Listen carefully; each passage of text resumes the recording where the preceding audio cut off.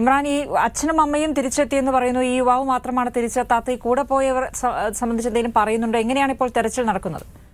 രജനി ഈ കാഞ്ഞിരപ്പുഴ പാമ്പന്തോട് എന്ന് പറയുന്നത് ഒരു ആദിവാസി മേഖലയാണ്. ആദിവാസി യുവാവായ ഇന്നലെ രണ്ടു മണിക്കാണ് കുടുംബസമേതം ഇവർ വനത്തിലേക്ക് പോയത്. വനവിഭവങ്ങൾ ശേഖരിച്ചുകൊണ്ടാണ് ഇവർ ജീവിച്ചിരിക്കുന്നത്. കാരണം ആ വനത്തിൽ നിന്നും സാധനങ്ങൾ ശേഖരിച്ച് നാട്ടിലെത്തി വിറ്റാണ് ശേഖരിച്ചിരുന്നത്. ജീവിച്ചിരുന്നത്. ഏതായാലും ഇന്നലെ ഉച്ചയോടുകൂടി ബാക്കിയുള്ളവരെല്ലാം തിരിച്ചെത്തി. എന്നാൽ ഈ യുവാവ് മാത്രം തിരിച്ചെത്തിയില്ല. തുടർന്നാണ് ഇന്ന് ആ, രാവിലെയോട് കൂടി ഈ മാതാവ് പരാതി നൽകിയത് പാമ്പന്ത വെള്ളയുടെ മകനായ പ്രസാദ് എന്ന ഇരുപത്തിരണ്ട് കാരനെയാണ് കാണാതായിരിക്കുന്നത്.